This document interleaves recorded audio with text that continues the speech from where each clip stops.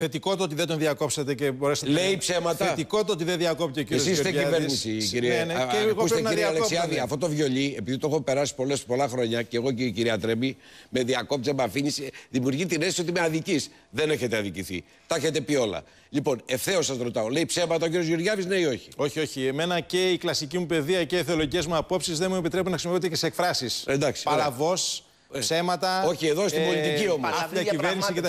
Ναι, Λέει ναι, ψέματα δεν ή μπορώ- όχι; Εγώ δεν μπορώ να χρησιμοποιούνται και σε εκφράσει. Έχω έναν άλλο πολιτισμό και μια Για άλλη πέστε κουλτούρα το, σε αυτά τα λοιπόν, ζητήματα. το δικό Εκφράστηκε με σας. μεγάλη Σε ό,τι- εκτίμηση για εσά. Εσείς τον Και εκτιμάτε; τον ευχαριστώ πολύ για αυτή την, ε, για αυτή την εκτίμηση. Εγώ δεν θέλω όμως να φανεί ότι ανταλλάσσουμε φιλοφρονήσεις και να έχουμε άλλα προβλήματα και να του δημιουργήσω και προβλήματα Στο στον κόμμα πολιτικό του. του χώρο εκεί που υπάρχουν διάφορα άλλα ζητήματα. Άρα τον σε ό,τι εκτιμάει. αφορά, σε ό,τι αφορά όχι, δεν κατάλαβα. θέλω, Έτσι δεν κατάλαβα. θέλω να. μπω- Για μένα οι διαφορές είναι πολιτικές, δεν είναι προσωπικές. Ναι, έχουμε ένα σε λεπτό. Πολιτικό Συμφωνούμε επίπεδο. Ένα λεπτό, ένα Σε λεπτό. ό,τι αφορά όμως αυτά Ε; που ακουστήκαν, δύο ζητήματα. Ε, τι θα να πω. κάνω τώρα; Στο θέμα της υπερφορολόγησης. Κοιτάξτε να δείτε. Ένα νούμερο θα πούμε για να μην Ναι, για κουράσω. να κλείσουμε, ναι. 600 με 700 εκατομμύρια εισπράταμε πριν να αναλάβει η κυβέρνηση Πασόκ Νέα Δημοκρατία Μάλιστα. τη χώρα το 2010 από φόρους στα ακίνητα, στην, στην ακίνητη περιουσία ναι, μας επί πιο έμφυα. Και έχουμε πάει στα 3,3 δις Γιατί η μπήκε ο βεβαίωση έμφυα. του φόρου. Μπήκε ο κυβέρνηση έμφυα. Πασόκ του Γιώργου Παπανδρέου έβαλε τον ένφια, μην λέτε ψέματα. Και εσείς το Αυτό είναι σωστό. καταργήσατε. Ούτε Και εσείς εσείς το καταργήσατε. Ούτε εσείς το Ούτε καταργήσατε. εσείς. Μα λέμε, κανένας μα δεν το λέμε, για το, καταργήσατε. λέμε για την κατηγορία που Χρεώνεται κάνετε στην σε εμά. κυβέρνηση Εντάξει, εντάξει, Σαμαρά εντάξει. το χαράτσι που μπήκε από τον Λοιπόν, Γιώργο Παπανδρέου. ε, Γρηγόρη, Αυτό Κύριε δεν είναι Χατζή, δίκαιο. να δώσω το χρόνο μου στον κύριο Γεωργιάδη. Και το Τελειώσαμε, τελευταίο, σε τελειώσαμε, σχέση ναι, με ναι. το ΦΠΑ στα νησιά,